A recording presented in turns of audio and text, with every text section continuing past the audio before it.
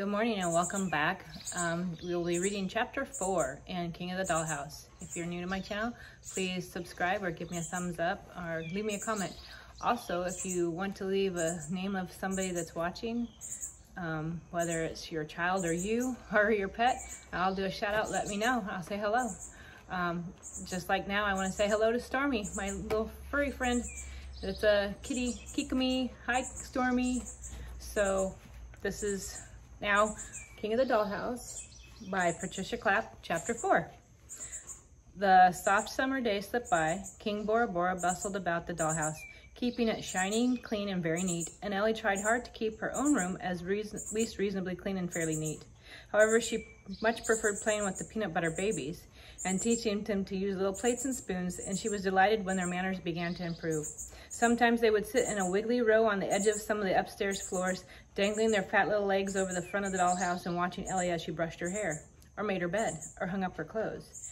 And when they sat that way, it was quite easy to see that they were really, were 11 of them, all the same size, small. Ellie's mom spent more and more time in her study and seemed very pleased with the way her story was coming along. There's Ellie, probably thinking about those peanut butter babies. Miss Pinkletoe was having. If she noticed that the peanut butter and raisins and chocolate chip cookies seemed to run out more often than usual, she didn't mention it. Ellie spent more hours watching the peanut butter babies playing and sleeping in their little dollhouse, or eating their meals and trying hard not to put their hands into the plates full of peanut butter. How do you do, tell the peanut butter babies apart? Ellie asked the king one day. They all look the same to me. I don't tell them apart, King Bora Bora said. They all look the same to me too. And there they all are. And this used to be my book, so when I was little, I started coloring them in and then I stopped. so there they all are, sitting on the edge of the dollhouse. But don't they have any names? I believe their mother, my dear queen, did name them when they were born, but I can't seem to recollect what she called them. I shall be happy to ask her the next time she turns up, if you like. Oh, do. Do you think she will come home soon? asked Ellie. It's impossible to say. On one occasion, she stayed away for a full 10 days, and that was during her uh, aviation period. Aviation? You mean she flew airplanes? More like gliders, really. She had a good friend, a sparrow, who used to fly her Royal Highness up into the maple trees. Then the queen would sit on a maple key and would spin, come spinning down to earth. It made her quite giddy, and she seemed to really enjoy it. That sounds like such fun, said Ellie, hugging herself with pleasure at the thought. Was a maple key really big enough for her to sit on? Her Royal Highness is quite has always been petite, said the king. Her head comes up to just my shoulder. With his hand, he showed Ellie how big the queen was. I guess you wish she would hurry back, Ellie said. It must be hard caring for 11 children while your wife is out mouseback riding. Not at all, said the king. I am much better suited to it than the queen, and she would be the first to agree. Oh, I do wish she would come home. She sounds very exciting, said Ellie. Ellie didn't have to wait long. That very night, as she was about to drop off to sleep, she heard a tiny scurrying noise off to, on the, from the floor. And the king must have heard it too, because two or three of the dollhouse lights were quickly turned on. And in their glow, Ellie saw a rushing little form race out of the shadows, shadowy corner of a room, gallop up to the dollhouse, and stop short. Whoa, said the small, tiny sort of voice. And suddenly there was the queen, gallant and beautiful, on mouseback. Looking over the edge of the dollhouse at the sound of her voice, the king broke out into a smile. My love, he called, welcome home. How nice to see you. Wait a moment, I'll come down and open the door.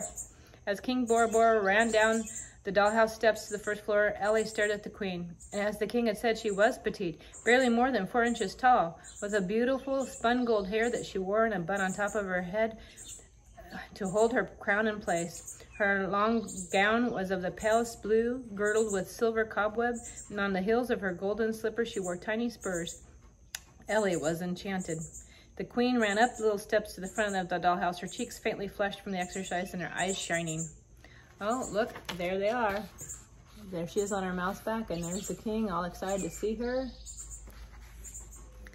Ellie tactfully looked away while the king greeted his wife and led her into the living room where she heard her voice. Ellie, he called out, are you awake? Oh, yes, she said and slipped out of bed. I would like you to meet Her Royal Highness. The couple stood in the middle of the living room, their hands linked, looking very regal indeed. Ellie knelt on the fuzzy floor in front of the dollhouse, her heart just beaming with happiness. Gazelda, my love, said the king, this is Ellie. Or I suppose we might call her our landlady.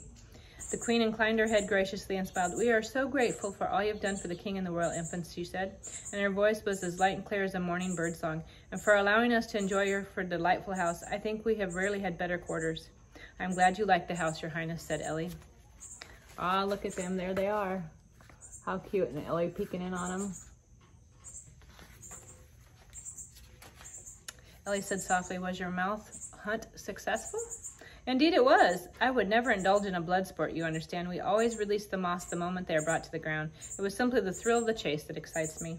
The king turned blue, turned the blue velvet wing chairs around so he, it faced Ellie and the king and gestured for the queen to sit down. You must be weary, my dear, he said. All those long hours of writing. Oh, Bora Bora, my sweet, weary, you know me better than that. I am not tired at all, but if I may be truthful, I am frightfully hungry. Hungry. Would there be anything at all in the kitchen? Oh, how thoughtless of me, said King Bora, and hit his head lightly with his hand, knocking his crown awry. Of course, sit here, my love. I shall fetch you something immediately. And off he hurried through the dining room into the little kitchen where Ellie and the queen could hear him moving about briskly. Gracefully, the queen seated herself in the wing chair, her pale blue skirt falling in gentle folds. His Majesty is such a perfect husband, she told Ellie in confidential tone. There were those who thought us ill-matched when we married because I am so fond of adventure, and the king is such a homebody. But it has been a very happy union. I am a terrible housekeeper, but the king is very good at it and actually enjoys it. And of course, I do all the mending and make the children's clothes. Sewing is my one task my husband is not adept at, while I am very creative. The whole thing works out really extremely well. She glanced up as King Bora returned with a little tray on which was a plate holding several cookie crumbs, a raisin sliced neatly into quarters, and a folded bit of paper napkin tucked underneath. Oh, thank you, my love, she said. This looks delicious. The king set the tray beside the wing chair and seated himself on the dollhouse sofa, watching his wife with pleasure as she ate. Will you be staying long, your highness? asked Ellie. The queen wiped the corners of her mouth with the napkin. A few days, I expect. I want to make fresh suits for the children, and I have some new bedtime stories to tell them. and then, Ellie ventured. Oh, I never know, my dear, said the queen said. At any moment, I am apt to become restless, and then I must be off again. Please don't hurry away, Ellie said. I do so want to get to know you. There are one or two problems, however. Yes, said the queen. Well, perhaps your husband will explain it if explain to you the best thing to do if either of my parents soon approach the room. The king nodded understanding. You are referring to the hall closet, of course. Yes, I shall acquaint her highness with our hiding place. It has been a, will appeal to her sense of excitement if there is anything else. Well, there is. It's the um the queen's um, steed. For a moment, the little queen looked puzzled. Then she smiled. Oh, you're speaking of Silver Lightning, my mouse, are you not? What about him? A spirited beast, she said, looking towards her husband. There's the little queen sitting in her chair, eating her little snack. It's just, well, I'm not sure my mother will like having a mouse in the house, said Ellie. She's not very fond of mice. What a pity, the queen murmured, but that can be easily taken care of. She arose, brushing the cookie dust from her gown, and going quickly out the front door around down the steps, she went to her mouse, who was standing quietly in a ray of light from the living room, slipped off his bridle, deftly unbuckled the little saddle, putting them both over her arms. She whispered something into its ear and then slapped it lightly on the rump.